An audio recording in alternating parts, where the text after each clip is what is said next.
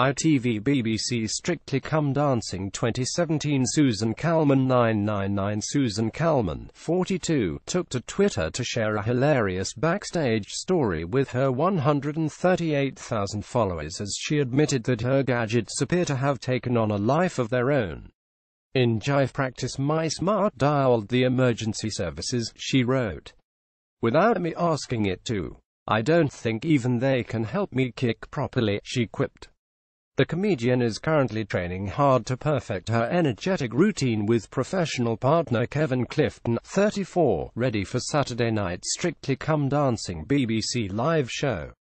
Twitter Strictly Come Dancing star Susan Calman accidentally dialed 999 in training yesterday. Twitter Susan also revealed that this weekend's Jive is her birthday dance Monday, October 30, 2017 Strictly Come Dancing 2017 Best Moments so far Susan also revealed that the Jive, which they will dance to the of Shakin' Stevens This Ole House, is her birthday dance as she is set to turn 43 the following Monday.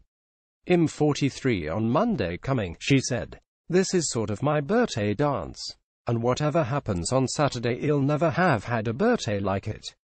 She will be hoping to impress the judges with her jive, as she found herself under fire for her Game of Thrones themed foxtrot last weekend.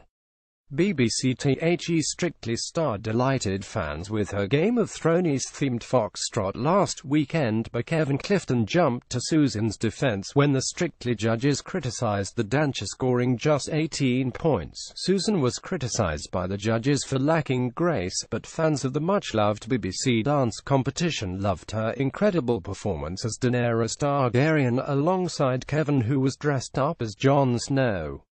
Although she arrived with a bang, flying onto the stage on a dragon, her routine didn't go down well with the panel, with Shirley Ballas, 57, commenting you know how much I love you, but again for me it lacked grace, it lacked elegance. Not your best dance for me, today. Kevin was quick to come to his partner's defense, replying I love you too, Shirley, but for the Halloween Game of Thrones Foxtrot Grace WASNT really what we were going for. Strictly Come Dancing continues Saturday at 6.50pm on BBC One.